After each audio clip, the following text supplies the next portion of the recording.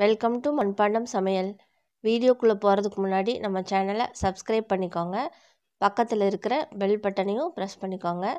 Video பார்த்ததுக்கப்புறம் பிடிச்சிருந்தா like பண்ணுங்கள் ஷேர் பண்ணுங்கள் மறக்காமல் கமெண்ட்ஸில் சொல்லுங்கள் வாங்க இன்றைக்கி நம்ம வீடியோக்குள்ளே போகலாம் இன்றைக்கி ரவா கிச்சடி செய்ய போகிறோம் அதுக்கு எண்ணெய் ஊற்றி வச்சுருக்கேன். எண்ணெய் காஞ்சிருச்சு. இது கூட ரெண்டு ஸ்பூன் நெய் சேர்த்துக்கலாம்.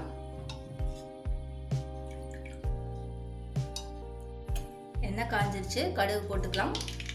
கடுகு பொரிஞ்சதும் கடலைப்பருப்பு ஒரு ஸ்பூன் போட்டுக்கோங்க.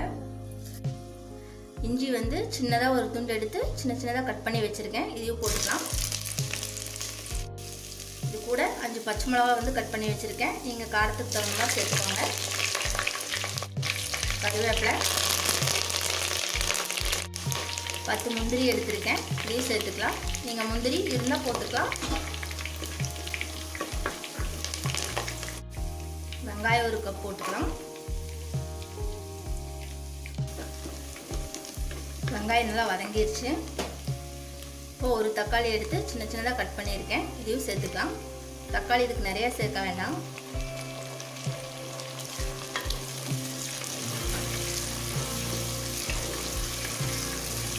தக்காளி நல்லா வதங்கணும். தக்காளி நல்லா வதங்கிருச்சு. ஒரு கப் கேரட் வந்து சேர்த்துக்கிறேன். சின்ன சின்னதாக கட் பண்ணி வச்சுருக்கேன். ஒரு கப் பீன்ஸு.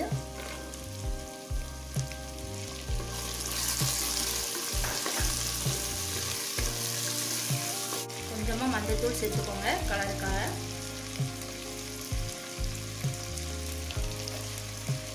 தேவையான அளவு உப்பு சேர்த்துக்கலாம்.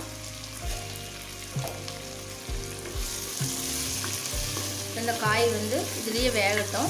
தண்ணி சேர்க்க வேண்டாம்.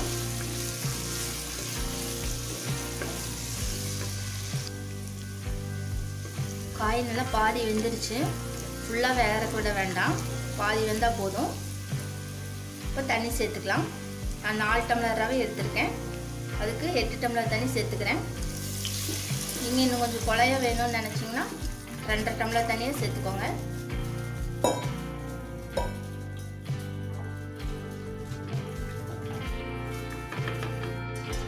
ஒரு தட்டு போட்டு மூடி வச்சிடலாம். நல்லா கொதிக்கட்டும். தண்ணி நல்லா கொதிச்சிருச்சு.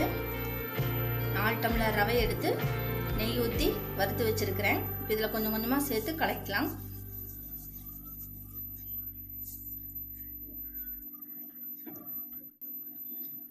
கொஞ்சம் கொஞ்சமாக சேர்த்து கலக்கலாம். அப்போ தான் கட்டி வராது. நீங்கள் கேரட் பீன்ஸ் போடும்போது பச்சை பட்டாணி தேவைப்பட்டால் போட்டுக்கலாம். நான் சேர்த்திக்கலாம்.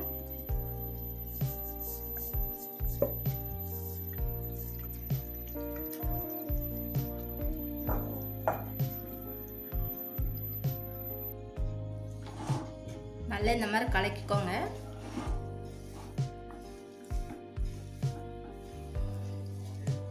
ரவா போட்டோன்னே நீங்கள் சிம்மில் வச்சுக்கணும்.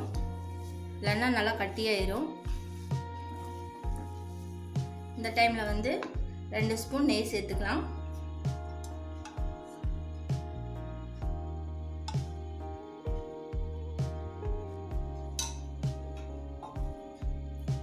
சேர்த்து நல்லா கலக்கி விட்டுருங்க.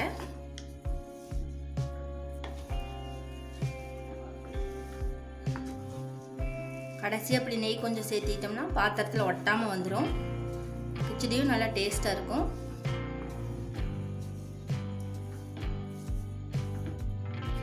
இப்போ ரெடி ஆயிடுச்சு. அடுப்பு ஆஃப் பண்ணிக்கலாம். கொத்தமல்லி தலை மேலே தூவிக்கலாம். ரவா கிச்சடி ரெடி ஆயிடுச்சு. நீங்களும் இந்த மாதிரி ட்ரை பண்ணி பார்த்துட்டு எப்படி இருக்குன்னு எனக்கு கமெண்ட்ஸில் சொல்லுங்கள் தேங்க்யூ